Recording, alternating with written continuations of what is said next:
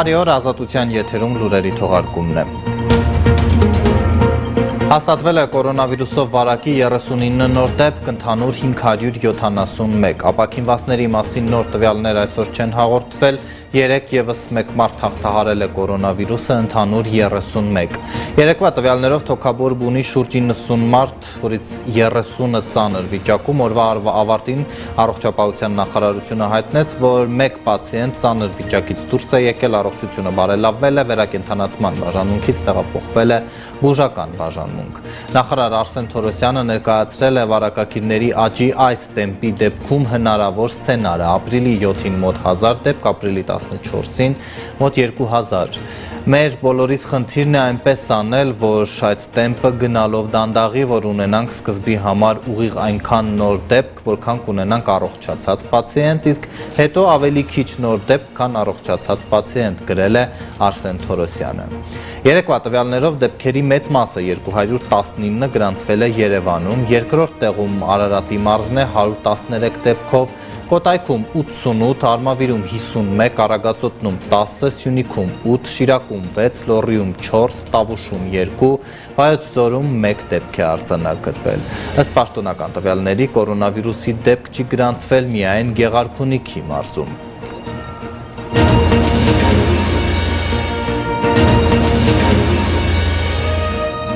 Այսօրվանից սահմանվել են տեղաշարժի նոր ավելի խիստ սահմանափակումներ, ոստիկանության սահմանած վայրերում տեղադրվել են անցակետեր, աշխատանքի գնալ կարելի է միայն գործատուի տեղեկանքով։ Կարգելվի որոշ տեսակի տրանսպորտ, այդ թվում երթուղայիններն ու ավտոբուսները, մետրոն արդեն չի աշխատում։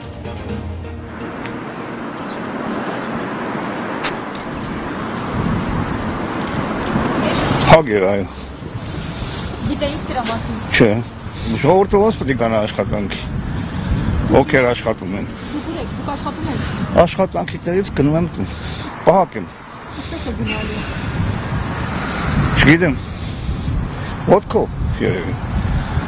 Որ համայնքում եք ապրում։ Աչափնյակ։ Այսինքն հիմա ոդկով աչափնյակ եք գնալու։ Հա, ինչ անեմ։ Տաքսու տարբերակը թողել են։ Տաքսու տարբերակը գումար պետք ունենաս որ գնաս։ ֆոտոպտի գնամ կոմիտաս։ Mən պահակ եմ աշխատում հիմնարկի։ Ես տաքսի փող որտեղից, ինչ եմ աշխատում որ տաքսիով գնամ։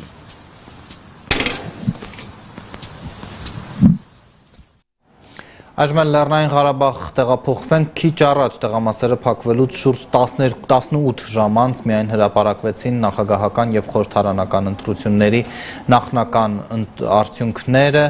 Եվ այսպես Սարայիկ Հարությունյանը մոտեցել է 50%-անոց շեմին, բայց չի հաղթահարել այն, ուստի կանցկացվի նախագահական ընտրությունների երկրորդ փուլ, որտեղ Հարությունյանը կպայքարի Մաս Իսմայելյանի հետ, որը շուրջ 26.5% ձայն է ստացել։ Խորհրդարան են անցել 5 ուժեր։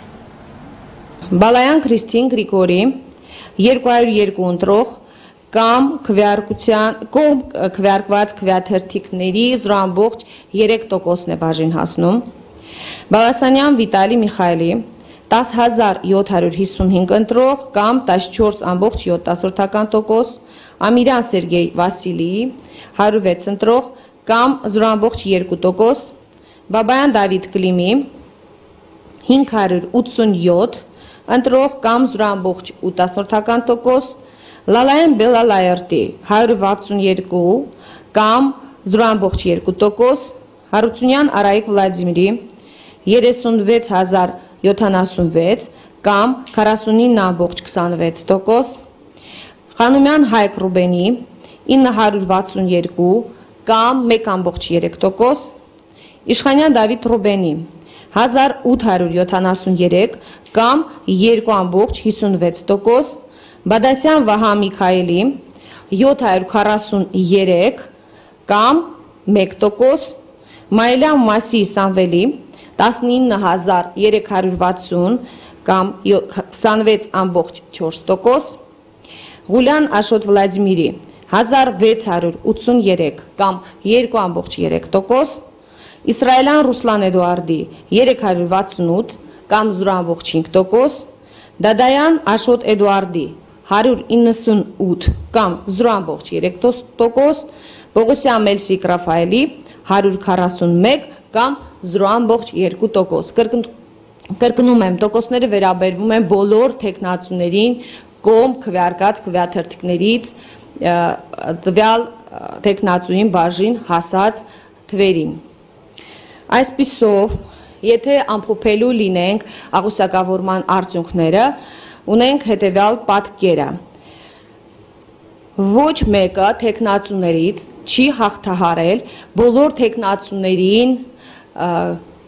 կողմ քվեարկված ձայների 50% պլյուս 1 ձայնը, ինչը նշանակում է, որ Արցախի հանրապետությունում պետք է անցկացվեն նախագահի ընտրությունների երկրորդ փուլ, փուլի աշխատանքներ։ Համաձայն ընտրական օրենսդրության երկրորդ փուլը տեղի է ունենում 14 օր հետո ընտրությունների քվեարկության օրվանից, այսինքն այս դեպքում ապրիլի 14-ին։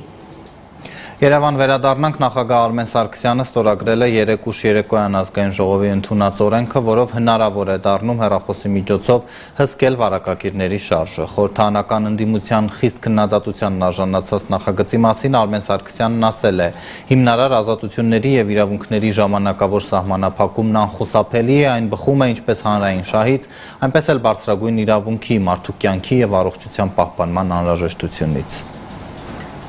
մեկ օրում երկու արտահերտ նիստ հրավիրելով երեկուշ երեկոյան ազգային ժողովը երկրորդ ընթերցմամբ եւ ամբողջությամբ ընդունեց մարդկանց տեղաշարժը հերախոսազանգերի շրջանակը հասանելի դարձնելու խնդրահարույց նախագիծը, որը նպատակ ունի ողջել կորոնավիրուսով բարակվածների շրջանակը։ Կողմ 71 դեմ 0 ձեռնպահ 0 որոշումն ընդունվել։ Երեք կեսօրին նույն հարցի շուրջ հրավիրված առաջին արտահերտ նիստում նախագիծը երկրորդ ընթերցմամբ չէր ընդունվել։ Անհրաժեշտ 67 ձայնը չէր հավաքվել, ընդդիմությունն էլ բոյկոտել եւ քվեարկությանը չէր մասնակցել։ Արդեն աշխատանքային օրվա ավարտին կրկին արտահերտ նիստ հրավիրվեց եւ ընդդիմության կողմից սուր քննադատության արժանացած օրինագիծը այս անգամ առաջին ընթերցմամբ 3 ժամ հետո էլ երկրորդ ընթերցմամբ ընդունվեց։ Արդարադատության նախարար Ռուստամ Բադասյանը հերթական անգամ փաստաթուղթը ներկայացնելիս պնդեց. այն բացարձակապես չի վերաբերում անձանց հերախոսազանգերի հաղորդագրությունների բովանդակությունների ստուգմանը։ Եվ եւս մեկ կարևոր դիտարկում բոլոր անձնավորված, ապանձնավորված տվյալները արտակարգ դրության ավարտից հետո ոչնչացվելու են։ Անդիմությունը եւ Լուսավոր Հայաստան եւ Վարգավաճ Հայաստան խմբակցությունները այս երկրորդ հրավիրված արտահերթ նիստին չներկայացան։ Ավելի վաղ ԼՀԿ ղեկավար Էդմոն Մարուկյանը Facebook-յան ուղիղ եթերով ասել էր. իշխանության այս շուտապույտ գործողությունները զորբայություն են։ Մեղադրել էր իշխանությանը արտահերթի մասին ուշ տեղեկացնելու համար եւ եզրակացրել հուսափել են հակափաստարկներից։ Արտահերթի միակ մասնակից իշխանական падգամավորները շարունակեցին պնդել այս նախագիծը գործիք է, որ օրենսդիր մարմինը տալիս է բարետին մարդկանց կյանքը բրկելու համար։ Չմոռացան ընդդիմությանն էլ մեղադրել այս կարևոր պահին գրավորական կեցվածք ընդունելու մեջ։ Կներեք, բայց սա իսկապես բավականին անպատասխանատու պահվածք է արտակարգ իրավիճակի պայմաններում։ Եվ ես գուցե որպես падգամավոր մոռանամ Լուսավոր Հայաստան եւ Բարգավաճ Հայաստան կուսակցությունների այսօրվա պահվածքը, բայց որպես քաղաքացի ես երբեք դա չեմ մոռանալու։ Կառավարությունը, եթե նույնիսկ չգիտեմ, մանանայել իջեցնի երկնքից, հիմա ինչ ջանքեր էլ գործադրի, այդ բոլորը անիմաստ կլինեն, եթե քաղաքացիները թարաշ չգնան այս քաղաքականությանը։ Եթե կառավարությունը ոստիկաններով անգամ ամեն բակ կարողանա ոստիկան ուղարկի եւ հորդորի եւ կարողանա ապահովել, որ տարեց մարդիկ օրինակ զրուցարաններում խաղեր չխաղան, միասին չշփվեն, այլ մնան տանը, եթե այդ մարդիկ չուզենան, այդ մարդիկ չընթարկվեն, չգնան, ոչ մի ջանք կառավարության չի չի օգուտ տա։ Նախքան քվեարկությունը արտահերթին ներկա Պարետ փոխվարչապետ Տիգրան Ավինյանը ամբիոնից հայտարարեց. այս ամբողջ գործընթացի նպատակն է տեղորոշել այն անձանց, ովքեր շփվել են բարակագրի հետ։ Սա չի նշանակում, որ մենք ուզում ենք վերահսկել մարդկանց։ Սա միայն ու միայն նշանակում է, որ մենք ուզում ենք համաճարակի տարածումը կանխարգելել հարգելի գործընկերներ, սիրելի հայրենակիցներ, եթե դուք ստանաք զանգ արտակարգ իրավիճակների նախարարության աշխատակից, աշխատակցից, պարետատան անունից եւ լսեք այս նախադասությունը, որ ամենայն հավանականությամբ դուք այսինչ օրը, այսինչ վայրում միգուցե շփվել եք այսինչ անձի հետ։ Տեղեկացված եղեք, որ այդ անձը վարակակիր է եւ դուք նույնպես կարող է ռիսկային գոտում լինեք։ Դրանից հետո պետք է խնդրեմ, որ դուք գնաք այն վայր, որտեղ որ դուք պետք է ինքնամեկուսանաք։ Բոլորիս ողջախոհություն եւ առողջություն։ Նորից Լեռնային Ղարաբաղում անցկացված ընտրությունների մասին հիշեցնենք, նշանակվել է երկրորդ փուլ, Արայիկ Հարությունյանը մոտեցել է 50%-անոց շեմին, բայց չի հաղթահարել այն եւ ընտրապայքար դուրս կգա Մասի Իսմայելյանի հետ։ Այժմ Հարությունյանը Ստեփանակերտում հանդես է գալիս մամուլի ասուլիսով։ Իհարկե ունեցել ենք քաղաքական շատ ակտիվ բուրըն ժամանակահատված, քաղաքական ակտիվ այդ բուրըն ժամանակահատվածում նաև տարբեր գնահատականներ, մանավանդ վերջին օրը անհիմն մեղադրանքներ հնչեցնելով Իդեպ ես ուզում եմ անդրադառնալ միայն մի դեպքի մասին, Շուշիում կատարվածի մասին, այն կնոջ նկատմամբ, թող ինքը իզների, ես իրան շատ վաղուց եմ ճանաչում, մարդ գտնվելով առողջական շատ ծանր վիճակում, ես ընդամենը ափսոսում եմ, որ նրա նկատմամբ այդպիսի վերաբերմունք են ցուցաբերել, ոչ մարդկային վերաբերմունք։ Ես չեմ ուզում կրկնել նրա խոսքերքը, այդ մարդուն ես կամ իմ թիմը կաշառելու կամ որևէ քայլանելու անհրաժեշտություն չունի, որտեղ ինքին շատ հարազատ մարդ է, չգիտեմ, միամտորեն թե մտածելով է կատարել, ես ինձ այդ հարցը չեմ տվել։ Իհարկե նաև մի քանի նման դեպք եւ փորձելով մեր այս փայլուն ընտրարշավը եւ ընտրությունները կասկածի տակ դնելով ինչ որ մի քանի մարդու նկարելու պայմաններում պատճառով ավելի ճիշտ ես չեմ համարում, որ դա արդար է։ Փորձել են ամբողջ քարոշչության ժամանակահատվածում դրանից առաջ թիրախավորել ազատայինի կուսակցությունը եւ նաեւ ազատայինի կուսակցության նախագահին, հետո արդեն իսկ դաշինքին, իսկ դաշինքը 6 քաղաքական ուժերից է բաղկացած, փորձելով կասկածի տակ դնելով ամբողջ process-ը արդյունքները այսօր པարզ են եւ ինձ թվում է արդյունքների վրա որևէ միջամտություն չի եղել։ Իհարկե մնացածը թողնում է մեր ժողովրդի դատին։ Բոլոր գյուղերում գիտենով ինչպես է քվեարկել, այդ թվում Ստեփանակերտում։ Սկզբնական փուլում կասկածի տակ էին դնում, որ կորոնավիրուսի պատճառով մասնակցողների թիվը քիչ է լինելու եւ դա արդար չի, հետո տեսան հոսքը, հետո փորձեցի մեղադրել մեզ, որ ինչու ենք կազմակերպում, դա դա կարող է, իհարկե ընդունում եմ այդ մեղադրանքը չեմ ուզում ասել, բայց դիտողությունը, որ կարող է, բայց ես նշել եմ, որ եթե իշխանությունները հայտարարին, որ անհնարին է պահպանել մեր հայրենակիցների առողջության հետ կապված պահանջները, ապա մենք առաջինն ենք լինելու ողջունելու հետաձգելու առումով։ Իհարկե այսօր ինչքան հասկացա արդեն երկրորդ փուլի անհրաժեշտություն է լինելու եւ արդեն իրավիճակը թող իշխանությունները գնահատեն ինչպես են կազմակերպելու երբ են ու համանadrության պահանջը գիտեք 14-րդ օրը բայց ես հայտարարում եմ որ որևէ քարոշչական աշխատանք չեմ ավելի ճիշտ հանդիպումներ հանդիպումներ չեմ իրականացնելու Քարոշչականը կտեսնեմ անայած ակտիվությունից, ինչպիսին է, որ เป զի մեկ մեր հասարակությունը այս լարվածությունից հանենք արդեն երկար ժամանակ։ Իժորթը արդեն գիտի իր քվեարկելու ավելի ճիշտ ունի իր քվեարկելու որոշումը եւ շատ անելիքներ չկա շատ արդեն ինչ բարձ է լինելու այսքանը հիմի ես ուզում եմ սիրով պատասխանել ձեր հարցերին վարամ դու էլի ես գանի դու առաջ հա ազատություն ռադիոկան Պարոն Հարությունյան, դատելով խորհրդարանական ընտրությունների արդյունքներից, եթե չեմ սխալվում, ձեր գլխավորած ուժը մոտ 40% է ստացել, բավարար չէ այսպես կառավարություն կազմել համար, ու հետ եք պատրաստվում կոալիցիա կազմել։ Բոլորի հետ։ Ես ես ես ես չեմ ուզում հայտարարել, որ Սամվել Բաբայանի ոչ առանձին անունների Ես ժամանակին հայտարարել եմ այն ուժերի հետ, որոնք ընդունեն օրակարգը, սոցիալ-տնտեսական Արցախի զարգացման, անվտանգության եւ կա նաեւ մի պայման, կարևոր պայման, որը ես հայ, հայտարարել եմ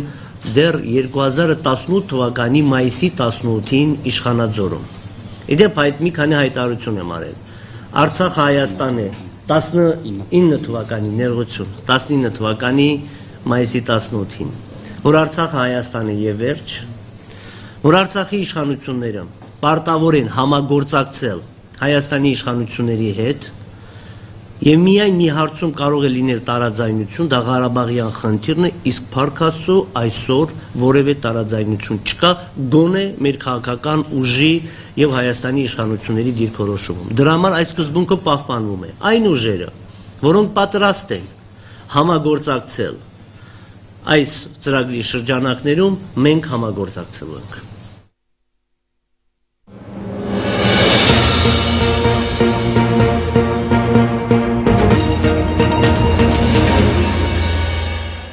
Արայք Հարությունյանի մամուլի ասուլիսին կարող եք շարունակել հետևել զուգահեռ հեռարձակմամբ։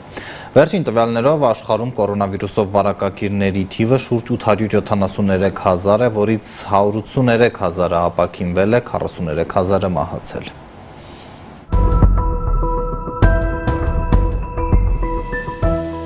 Լոնդոնի արևելյան շրջանում գտնվող Excel ցուցահանդեսների կենտրոնը վերածվում է ժամանակավոր հիվանդանոցի։ 83000 քառակուսի մետր տարածք ունեցող այս կենտրոնում սովորաբար խոշոր ցուցահանդեսներ էին բացվում, ինչպես օրինակ պաշտպանական, ռազմարդյունաբերության կամ ճամփորդական ոլորտները։ Ցուցահանդեսի կենտրոնը ժամանակավոր հիվանդանոց դարձնելու աշխատանքներին մասնակցում են բրիտանական բանակի զինվորները եւ պայմանագրային զինծառայողներ։ Կորոնավիրուսով վարակված մարդկանց բժշկական օգնություն ցուցաբերելու նպատակով Բրիտանիայում նաև 3 նոր հիվանդանոցներ են կառուցվում Լոնդոնում, Բիրմինգհեմում եւ Մանչեստրում։ Մարտի 31-ը ներառյալ տվյալներով մահվան դեպքերը մեկ օրում ավելացել են 27%-ով հասնելով 1789-ի։ Այս մասին հաղորդել է Բրիտանիայի կառավարության ներկայացուցիչը։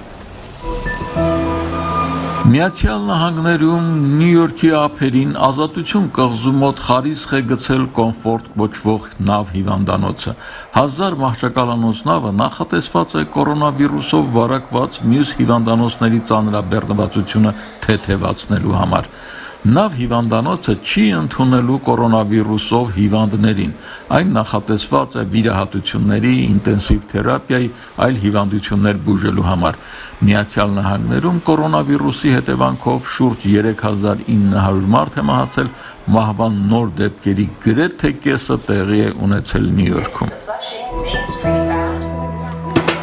Կորոնավիրուսի օջախ Չինաստանի Ուհան քաղաքը աստիճանաբար վերադառնում է նորմալ կյանքի, պահպանելով որոշ սահմանափակումներ։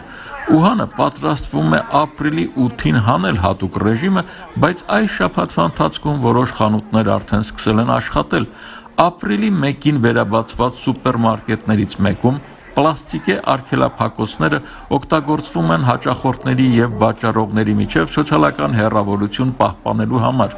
Գնորդները պատնեշի մյուս կողմից են պատվիրում ապրանքը եւ ստանում այն։ Խանութների ներսում պահանջում են, որ հաճախորդները միմյանցից գտնվեն 1.5-2 մետր հեռավորության վրա, իսկ մինչ ներս մտնելը ստուգում են նրան ջերմությունը։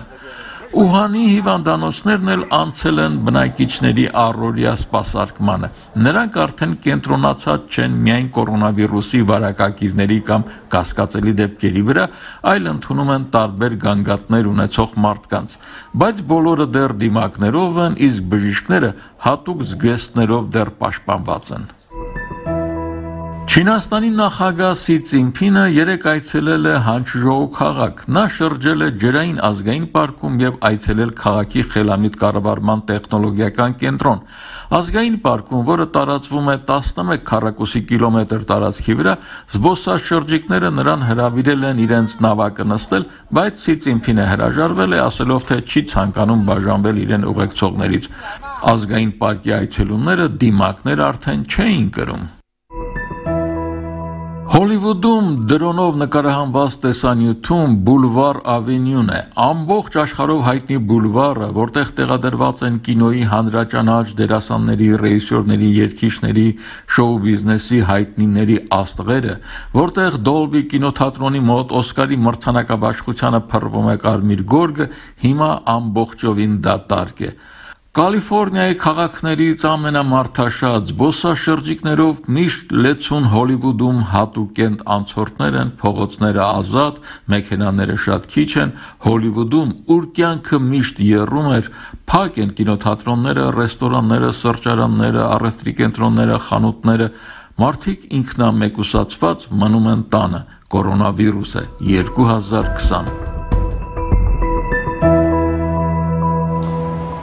Դիմակների ախտահանիչ նյութերի վարակից պաշտպանվելու միջոցների խիստ ծղությունն ամբողջ աշխարհով մեկ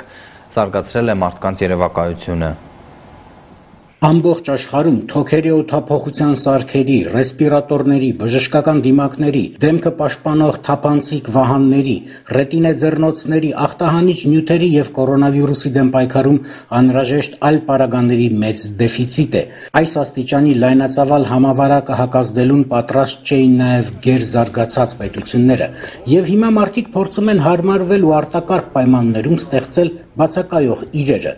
Ընդ որում պաշտպանության կարիք ունեն նախ եւ առաջ նրանք, ովքեր վիրուսի դեմ կռվի առաջնագծում են բժիշկները, թե մի խումբ հետազոտողներ, գյուտարարներ եւ տեխնոլոգներ բժիշկների համար ստեղծում են ռեսպիրատորներ չզարմանաք ջրասուզակների դիմակներից։ Պրահայի ճարտարագիտական համալսարանի մասնագետները եւ նրանց սատարող մի խումբ ակտիվիստներ ծովային մարզաձևերի սիրահարների համար արտադրվող ջրասուզակի դիմակից պատրաստել են ռեսպիրատոր, որն իր որակով նույնիսկ գերազանցել է FP3 հապավումով հայտնի ռեսպիրատորը, որը գործնականում այս օրերին չափազանց դժվար է հայթայթել։ Այս ռեսպիրատորը փակում է ամբողջ դեմքը եւ պաշտպանում շնչառական համակարգը։ Մարդը շնչում է մրի մասնիկներ արգելափակող P3R ֆիլտրով, ասել է նախագծի հեղինակ Դավիթ Միկլաշը։ Ինֆեկցիոն հիվանդությունների բաժանմունքում շատ ողջավորված են։ Ասում են, թե այս մասկաները տալիս են աշխատանքի ժամանակ ավելի հանգիստ շնչելու հնարավորություն։ Մասկան կարող է ախտահանել, շատ օգտագործել, ֆիլտրը երկար է ծառայում։ Մի քիչ ակնոցի տեսակն է անհարմար, պետք է մի բան մտածել, բայց բժիշկներն էլ կատակում են, թե հավես է, կարծես ջրասուզվում ես գործողության ընթացքում, ասել է հիվանդանոցի խոսնակ Պավլինա Դանկովան։ Մենք այս ռեսպիրատորները փոխանցում ենք հոսպիտալներին Պրահայում եւ այլ շրջաններում։ Մենք 2200 ռեսպիրատոր ենք պատրաստել։ Այս շաբաթ ուզում ենք արտադրանքը հասցնել 10000-ի, ասել է Պրահայի ճարտարագիտական համալսարանի նախագահ դոկտոր Վոյտեխ Պետրաչեկը։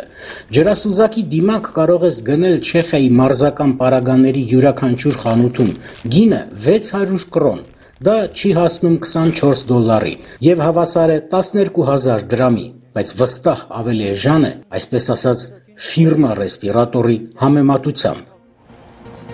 Այս թողարկմանն այսքանը կհանդիպենք ժամը 16-ին։